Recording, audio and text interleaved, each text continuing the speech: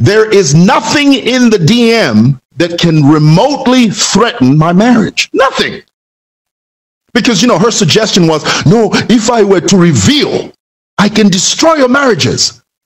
There is nothing in there that could potentially destroy anyone's marriage, much less my own.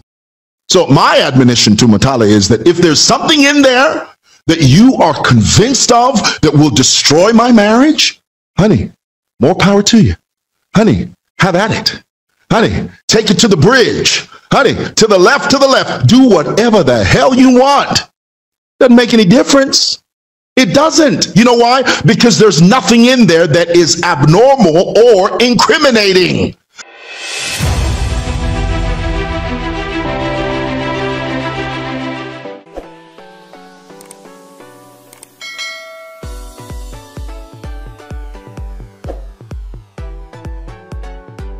Hi lovely viewers, it's me again your one and only Mutati Mpundu. Welcome to my YouTube channel. If this is your first time on my channel, kindly subscribe to my YouTube channel by hitting the red subscribe button down below and turn the bell icon to join the notification squad. Don't forget to like, share and leave a comment. Tell me what you think about this video in the comment section below. I'll be super glad to hear from you lovely viewers. I was invited by Hot FM to be a guest on, on the radio show. And sitting next to me was this very amiable, uh, dark skinned girl. We talked on radio, we co hosted. And then after the show, sitting next to her, I began to make small talk with her because she was very, very nice. She was very, uh, what's the word? She was amiable. You know the word amiable? Amiable means, you know, someone that you can easily speak to. So in the course of the conversation, I said to her, I said, so what's what's your name? Because I, I didn't know who she was at that time. And, this was way before she was famous. This was way before. I don't even think she had a, a significant uh, Facebook print. I don't think she had a digital footprint at the time, you know. And she looked at me and she said, My name is Mutale Mwanza. But this is what I found interesting about her is that even when we were on radio, she and she wore shades. You know, she wore sunglasses. And for the life of me, I couldn't figure out why. And at the time, I was thinking, well, maybe this is just part of her persona. Because there are people like that. There are people that, that love to wear shades all day, every day, every time. It's like that old song I wear my sunglasses at night. So that's the one thing that stuck out to me. And I kept, and I almost asked her, I said, Mutale, do you mind if I ask you, uh, why, why do you wear shades during the day? I didn't ask her that, but in my heart, I was, I wanted to ask her that, but, but I didn't. So we, know, we talked and, and, and that was the end of that. And I, and, you know, I, I hadn't talked to her in a long time. And then a few, I guess, might have been a year later, I started hearing this buzz about this person named Mutale Mwanza. And I kept on thinking, who is this chick? What's going on? I, I think one of the major um, controversies at that time, it could have been a, a little later, but one of the major controversies was that she had been on the radio with Bowman Lusambo. And I think she told she said something to Bowman, something like, you know, put the put, put the word respect in the front in front of my name or something like that. And and then when I saw her again, that's when I remembered who she was. I said, that's the chick from the from the radio station, from the Hot FM the, girl with the shades, the amiable girl, is is what I was thinking. Somebody says, make it quick. The battery is flat. Guys, I'm not going to rush through this. Okay. So if you've got the patience to sit there and listen to me for 20 minutes, you're just going to have to do it. So anyway, a, a short time after that, I was, I, I met her. I, I forget where it was we met, but we talked and then we exchange numbers. Now, here's the thing. As vloggers, and this is the point I want to make to you, Zambia has a very small community of vloggers. Very small. We're not like Nigeria, and I said this in the post the other day. We're not like Nigeria or America. They have millions of vloggers. But Zambia, you can literally count us on two fingers. There are very few vloggers. And because there are so few of us, we know one another. It's that six degrees of separation. We know one another. And because we know each other, we speak to each other on a regular. All of the influences, every single solitary influencer that you can think of in Zambia, just know we're a network of people. We speak to one another, constantly talk to one another. I speak to Ken Dumbo. I speak to Tissa the Trendsetter. I speak to Lily Matambo. I speak to, believe it or not, Mutale Mwanza. I have her number. We've spoken many times. I remember this one time I did a prank on her. How do you think I did that? It's because I had a number.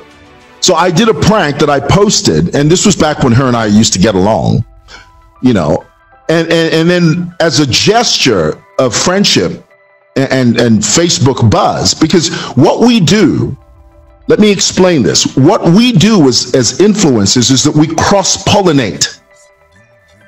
What that means is my audience and Mutale Mwanza's audience are basically two different audiences. So when we cross pollinate, I can tap into her audience and her audience taps into my audience. It's networking. It's a form of digital networking and it's very important to do. There is no exclusivity here. You never walk around thinking, you know, you're the only influencer in the world and you can do it by yourself. No, it's cross pollination. And cross pollination oftentimes involves, you know, you talk to one another. You, you maybe you you invite someone as as a guest on your show and vice versa. So we we've spoken many times. And, and, and I did this prank on her and and then I remember I took her a cake and I I made a big thing out of it. You know, I went to Hot FM and I delivered a cake and, and stuff like that. But where we began to part ways in terms of the way we approach so, social media is when Mutale Mwanza posted something about Honorable Mwanakatwe. And I gave my opinion on that. And, this is where I want you to really pay attention. That was the inflection point in terms of my friendship with Mutale Mwanza, if it was a friendship. That was where we parted ways because I got on social media and I said, you have to be respectful. Now, to give you a bit of backstory, and unfortunately I have to divulge this because so that you you have a clear picture. Mutale Mwanza's sister phoned me and said, Mutale is very hurt that you went on social media and you told her to apologize because she was going to apologize anyway. But now that you have sort of jumped the gun, when she does apologize, people will think that she's apologized because Simon Mwewa told her to apologize. Mutale wanted to apologize on her own terms, not because someone told her to. So I told Mutale's sister, I said, well, she's my friend. I can tell her that. And then I tried to phone Mutale after my post. Girl wouldn't pick up my phone. She wouldn't pick up my telephone calls. She stopped. Her sister told me, Mutale Mwanza's sister told me, Simon, because they call me Simon. Mutale values loyalty more than anything else. I said, What? She said, Yeah. The very fact that you went on social media and you spoke against her, you said that she was disrespectful to Honorable Mwanakatwe, Mutale considered that to be disloyal. I said, What are you talking about? There's no loyalty here. That was my opinion. That was my opinion. And I was, I felt that I was giving valuable advice to someone that I thought was a digital colleague. She said, No, Mutale doesn't see it that way. Mutale sees you as someone that betrayed her. Click. I said, okay, if that's the way it's going to be, that's just the way it's going to be. Okay? And and a few times after that, I remember Tivwange, the the TV show. You know the DSTV TV show. They invited me to be a guest on that show. And this was after this Mutale Mwanza issue that I posted. And I asked the producers, I said, Does Mutale know that I'm coming? And the guy says, Yeah, she knows. I got on the set of Tivwange. I considered it as playful banter. I did. I mean, her and I, if you watch that show, there was a bit of tension, but I was trying to make it as light as possible. But Mutale just had this thing like, you know, you betrayed me, man. You spoke against me. And so, therefore, I'm putting a line through your name instead of under it. I was trying very, very hard to just be as banterful as possible. Mutale wasn't having it. She just thought, no, you're.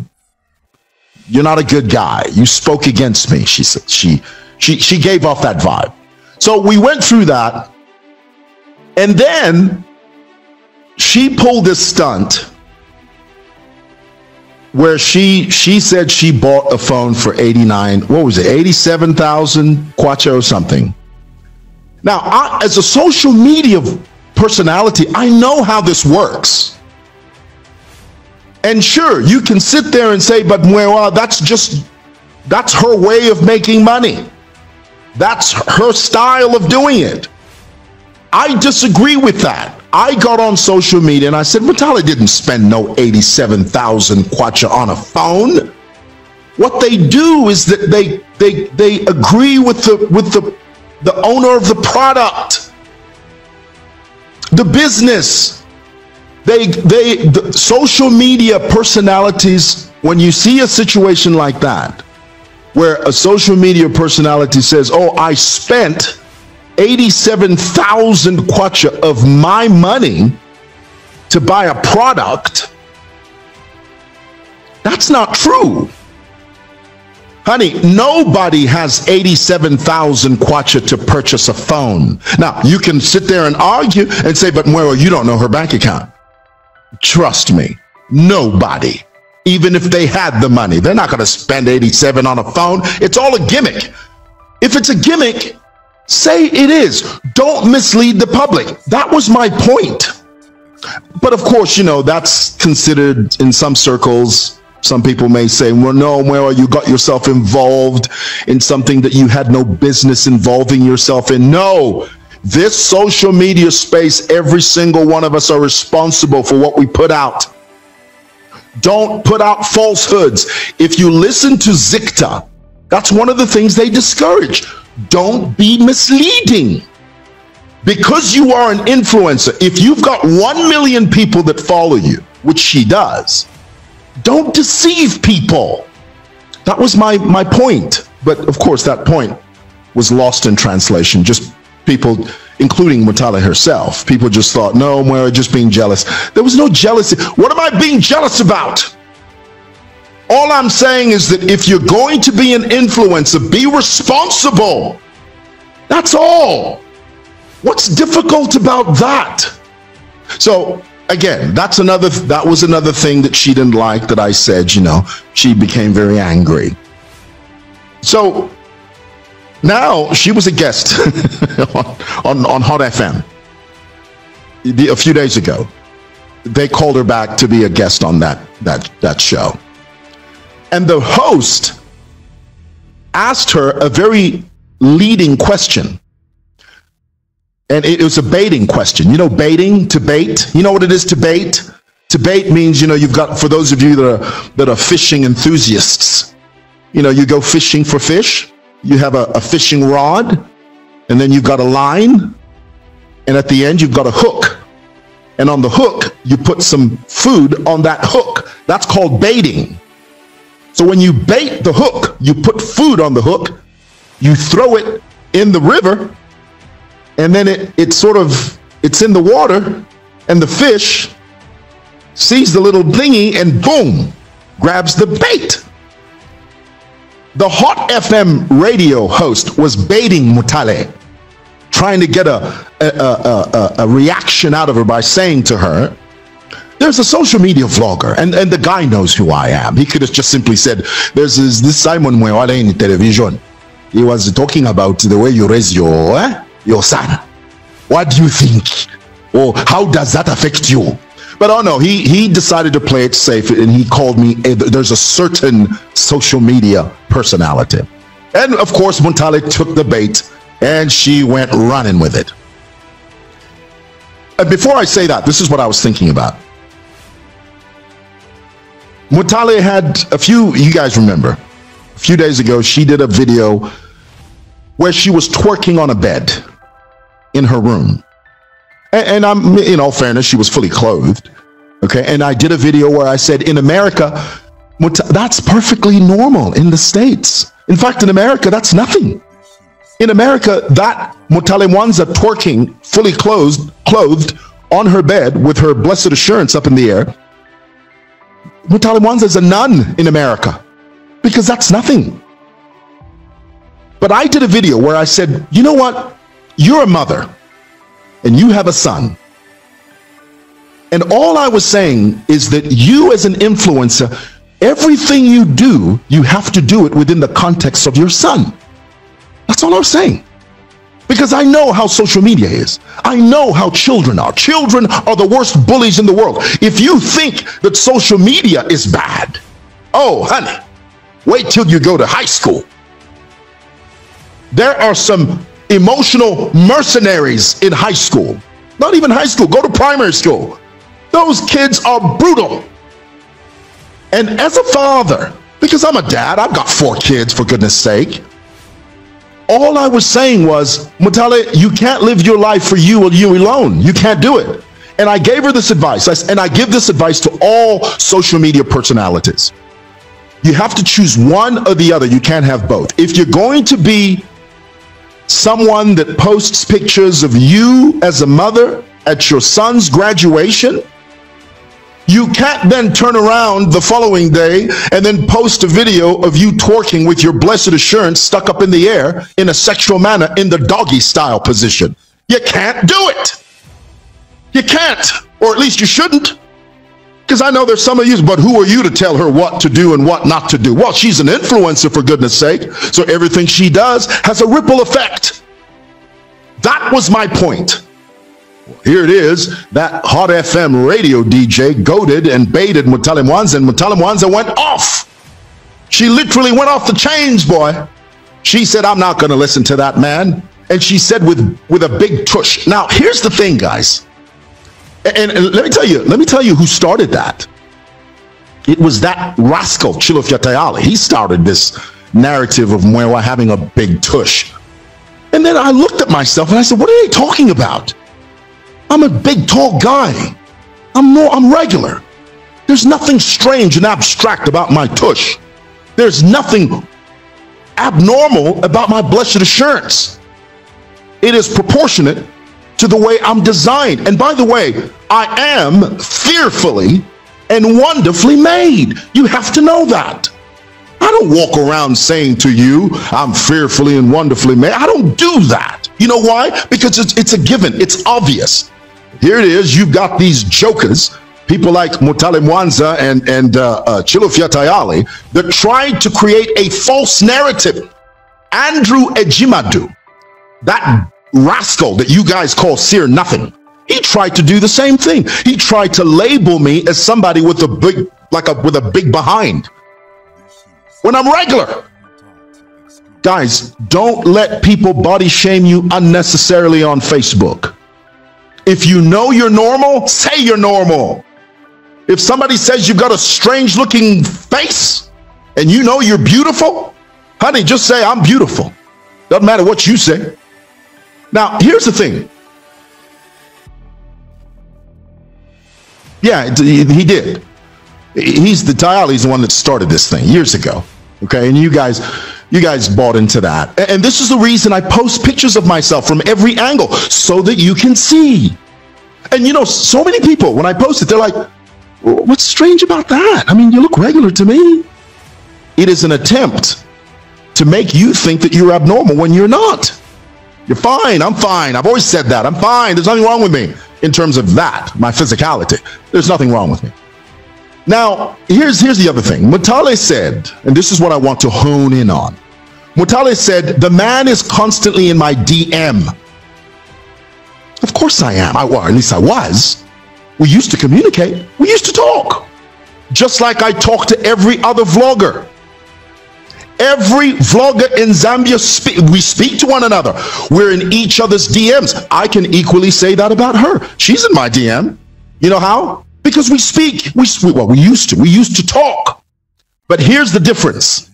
There is nothing in the DM that can remotely threaten my marriage. Nothing.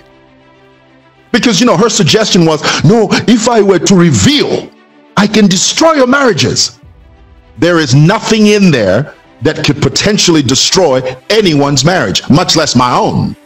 So my admonition to Mutale is that if there's something in there that you are convinced of that will destroy my marriage, honey, more power to you. Honey, have at it. Honey, take it to the bridge. Honey, to the left, to the left. Do whatever the hell you want. Doesn't make any difference. It doesn't. You know why? Because there's nothing in there that is abnormal or incriminating. This is DJ Mutati exclusive. Alright, that's all for you today, lovely viewers. If you did enjoy the video, please don't forget to leave a comment in the comment section below. Tell me what you think about the video you just watched in the comment section below. I'll be super glad to hear from you, lovely viewers. Once again, I go by the name of Mutati Mpundu. I love you, peace, I gotta go.